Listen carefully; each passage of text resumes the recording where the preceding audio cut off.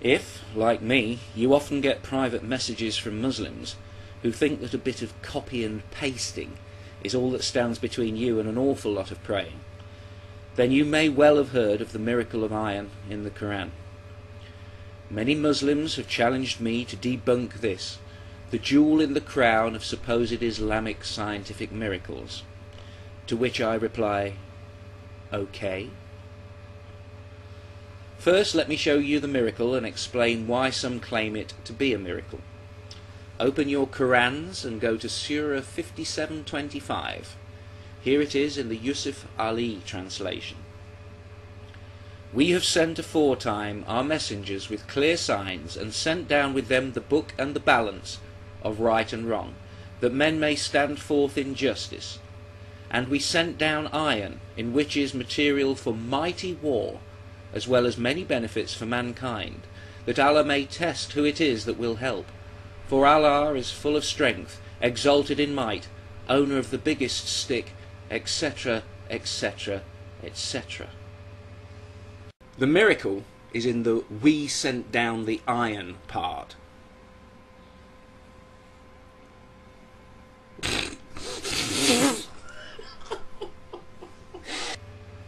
Many Muslims claim this section of the Quran is clearly referring to the scientific fact that iron really does come down to the earth from the skies, from outer space, carried on meteorites and, more rarely, in asteroids.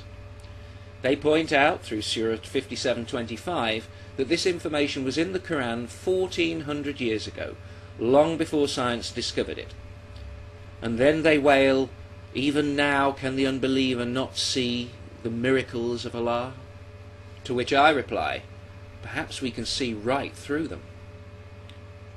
While it is potentially arguable that Muhammad wasn't talking about meteorites at all, it is only within this context that Surah 5725 is proposed as miraculous, so it is within this context that I must address it.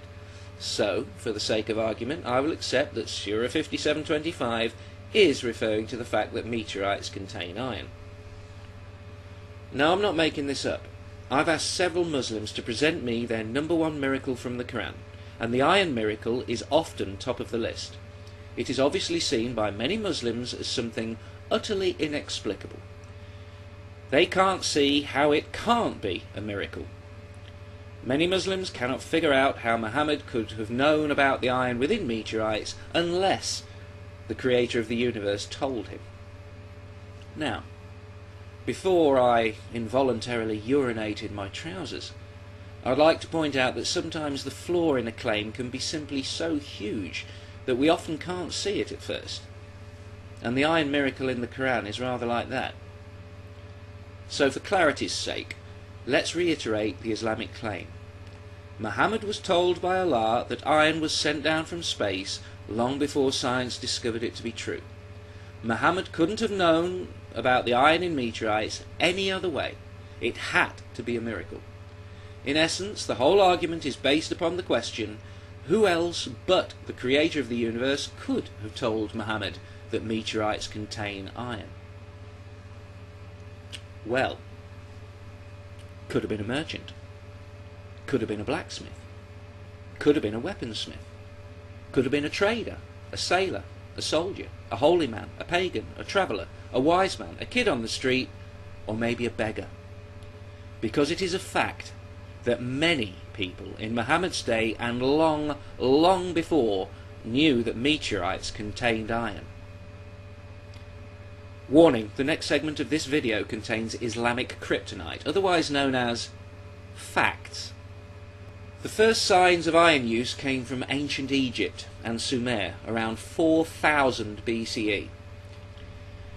The iron use was found in the form of tips of small spears and ornaments.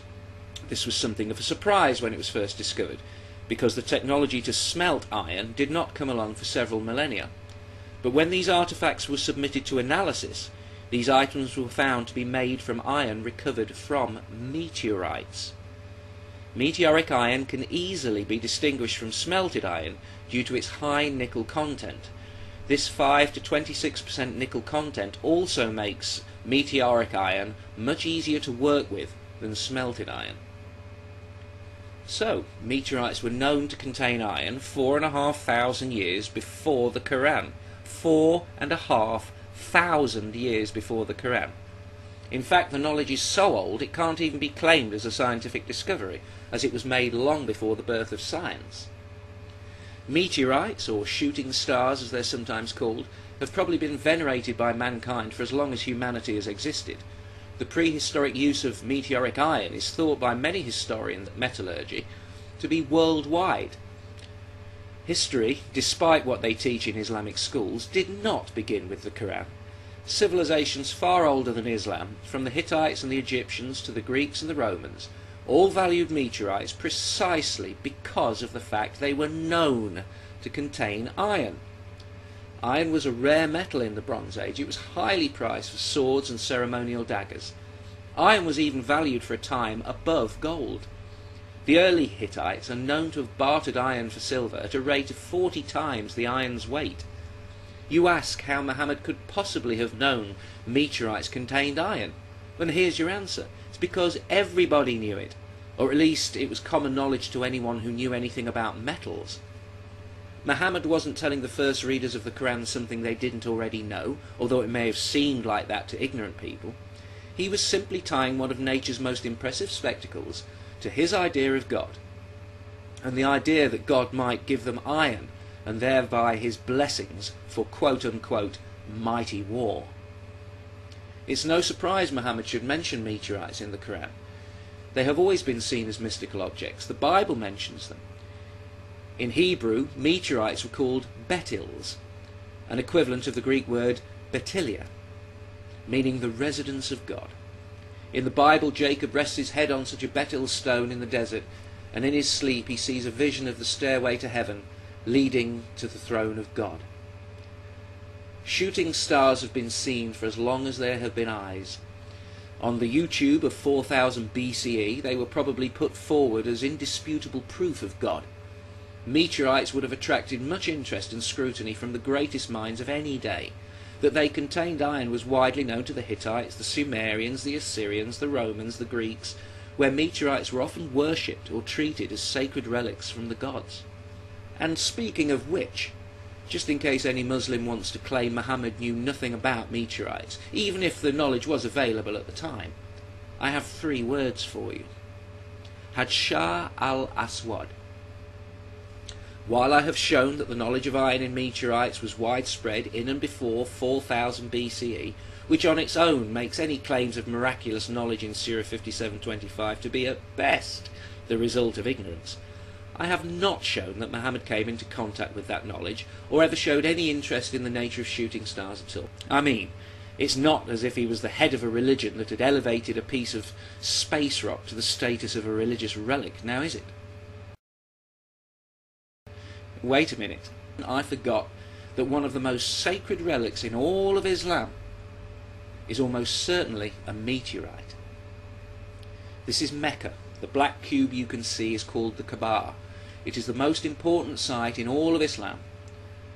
Each Muslim is expected to make a pilgrimage here, or Hajj, once in their lifetime, to visit Mecca and walk around the Kaaba seven times, then to pause at the southeast corner of the Kaaba to touch or kiss the Hajar al-Aswad, the sacred black stone, an object also known as Yamin Allah, meaning the right hand of God.